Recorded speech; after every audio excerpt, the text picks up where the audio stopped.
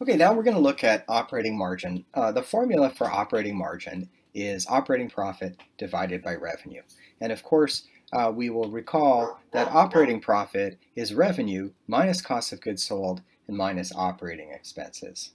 And we will recognize that the first part of this, revenue minus cost of goods sold, could also be uh, referred to as gross profit, um, so operating margin is also gross profit minus operating expenses divided by revenue. These are all equivalent statements. An analysis of gross margin uh, can help us answer two fundamental questions about any company. First, how efficiently is the business operating? And two, is the company management getting more or less efficient at running this business over time?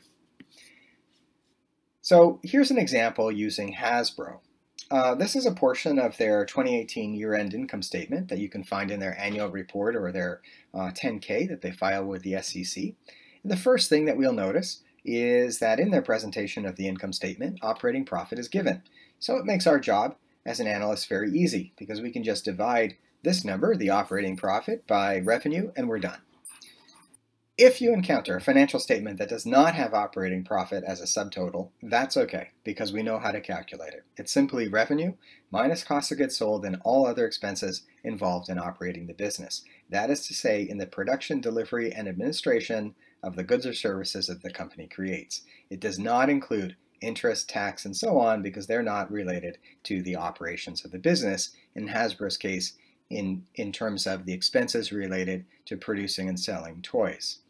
So for Hasbro, the operating expenses are the sum of everything that you see in the red from royalties through selling, distribution, and administration. And it does not specifically include interest, income taxes, and they've conveniently, uh, Hasbro has labeled these as non-operating expenses, so we know to ignore them when analyzing operating profit and operating margin. So operating margin then is operating profit divided by net revenue. And for Hasbro, when we do that, it's $331 million in operating profit divided by the $4.58 billion in revenue, which will get us 7.2% in terms of operating margin. So is 7.2 good or bad? As analysts, how do we evaluate this? Now that we know that their margin is 7%, what can we say about the company? Well, to evaluate a 7.2 operating margin as good or bad, we need to compare Hasbro to its peers in the same line of business.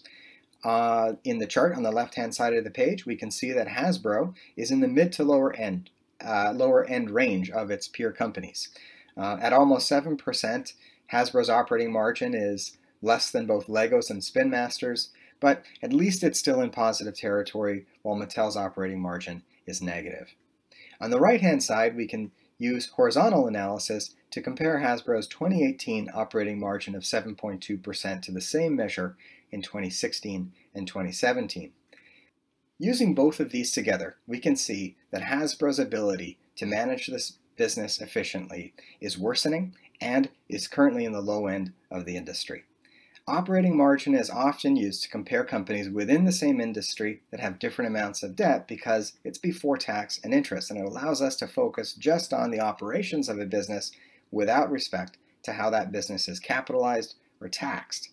In general, investors and lenders like to see higher operating margins than lower, and increasing operating margins are preferred to decreasing operating margins. Needless to say, operating margin should be positive for a healthy company.